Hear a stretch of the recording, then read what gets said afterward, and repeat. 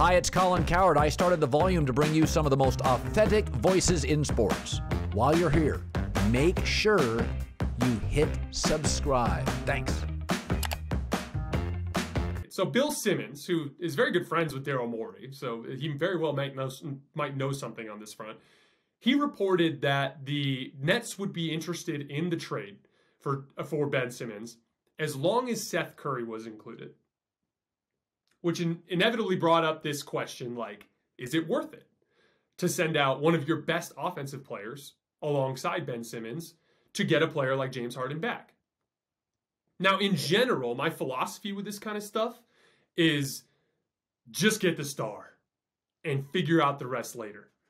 It is much easier after the fact to fill in little holes on the periphery when you have that super duper star power. Now, that can backfire, but it usually backfires when you trade for the wrong star, a la Russell Westbrook. When you give up really good role players and the star you get back is not very good.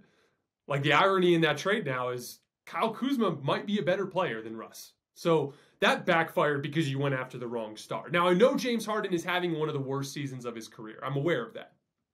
But he's a very finicky superstar. He's very moody. He's very dependent on things going his way. And he very easily can get thrown off mentally, and that can end up being a problem for him on the court. We've seen it many times throughout his career. Even when he was in Houston, even when things were good. They had a random year in there where he was 41 and 41 and basically didn't play any defense the entire season. He's that kind of guy. Now, is he ever going to be as good as he was in 2018 again? Maybe not. But I know one thing for sure.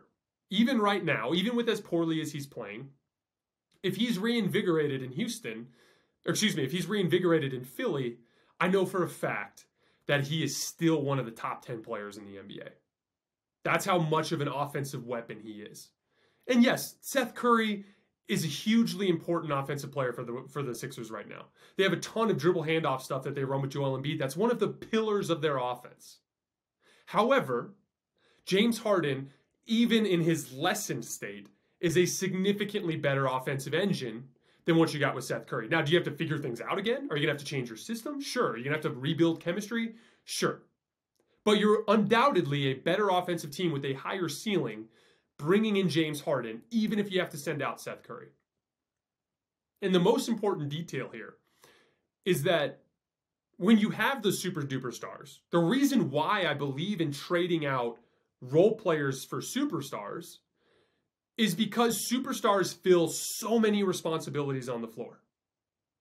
You know, like if you had to assign like a pie chart or pie graph or whatever you want to call it, that lays out the responsibilities that have to be filled on a basketball court. When the two superstars fill almost the entire chart with what they do, all of a sudden those little pieces that you have to fill in become way more manageable. You you're not going to be able to find a guy as good as Seth Curry as a role player next to James Harden and Joel Embiid. But you can probably find somebody who's 70 to 80% as good which without James Harden is a huge difference because you need Seth Curry to do everything he's been doing. But when James Harden's in there and all those responsibilities are filled, the job becomes easy. This is why the Lakers won the title in 2020 and all their role players looked good. All those guys that got slandered in the summer coming into the season did great. Why? Because LeBron and Anthony Davis both played like MVPs that year. And so, what they expected and needed from the role players on the periphery was such a small and manageable goal that they all knocked it out of the park. Every single player panned out that season. Even Rondo, who struggled that whole season, was awesome in the playoffs, at least for stretches. So that's the kind of vibe you got to look at it, the way you got to look at this if you're Philly. Like, yeah, we're losing Seth Curry. Yeah, we're losing Ben Simmons, but he wasn't playing anyway. But you're bringing in James Harden. And by having James Harden and Joel Embiid fill up so much of that pie chart, you get, open the door for yourself to make easy roles available. And with those easy roles, you can slot in lesser players and they can knock those roles out of the park. So no matter what Philly asks, even if they ask for Tyrese Maxey instead of Seth Curry, in, in terms of what Brooklyn's asking for, I mean, even if they ask for that, even if they ask for both, I don't care what they ask for. You just get the star because this is not Russell Westbrook. This is not a player that's going to come in and massively underperform. He's going to be reinvigorated. He's going to be the go to perimeter scorer. He's going to be playing alongside one of the best players in the league. He is going to love it there. He's going to be completely bought in and he's going to look great. I feel very confident in that. So you got to do what it takes to get him. Now the question becomes do you throw everything at him now or do you wait till the summer? And the reason why you go for it now is because nothing is guaranteed.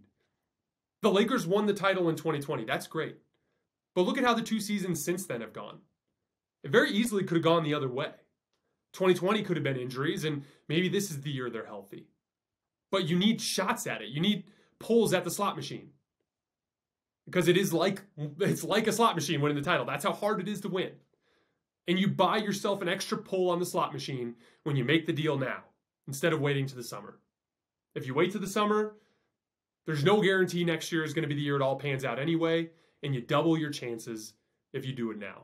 So I hope I hope Philly puts all the chips on the table and gets James Harden because I think it'll be the best for them. And we talk as we talked about on Saturday, I love the Ben Simmons fit in Brooklyn, filling in a lot of responsibilities that have never been filled in on that team.